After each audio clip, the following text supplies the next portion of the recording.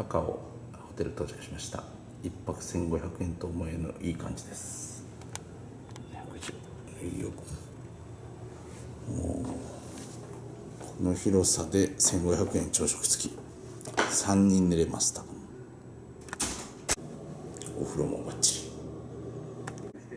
リ NHK 映りました。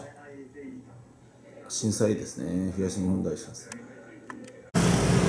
きましたね。